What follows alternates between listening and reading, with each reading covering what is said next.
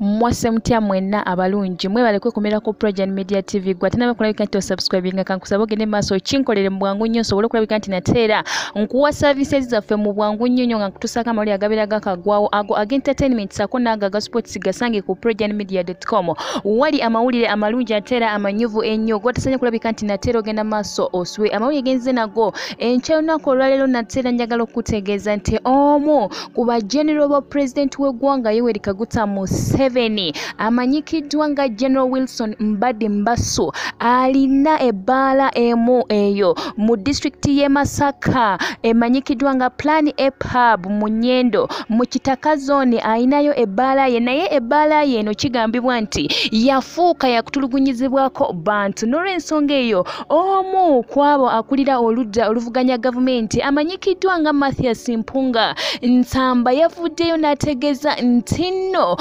omukulu ono ebbaala ye agifudde yakutulugunyizaako bantu. Newankubadde nga omukulu pulezidenti w'eggwanga yoweri kaguta museveni yavayo n'ategeeza nti ebbaala tezinakulabika nti nateera zigulwawo. Mu butongole naye ye genero ono agenze maaso n'agenda maaso nti ye ebbaala ye egenda maaso ng'ekola. Naye ate ekisinga okulabika nti kikwasa ennaku kwe kulaba nti ate era agenda maaso n'okutulugunyizaako abantu. Omukulu ono amanyikiddwa okubeera nti ali omu ku abo abakulu aba chief of defence forces mu gavumenti eno eriko. Omukulu ono general wilson mbaddi mbasu naye ate ebbaala ye gy'alina mu kitundu ekyo kyenkugambye mu nyendo kitaka zooni mu masaka city mu kibuga ekyo kyennyininyini eky'e masaka agenda maaso n'okulabika nti atulugunya abantu. Emabegakaawo kigambibwa nti abantu babiri bagenda maaso ne battibwa mu bbaala emu eyo bamaneja abali mu bbaala eno abagikwasaganya bagenda maaso ne batta abantu babiri. N'olw'ensonga eyo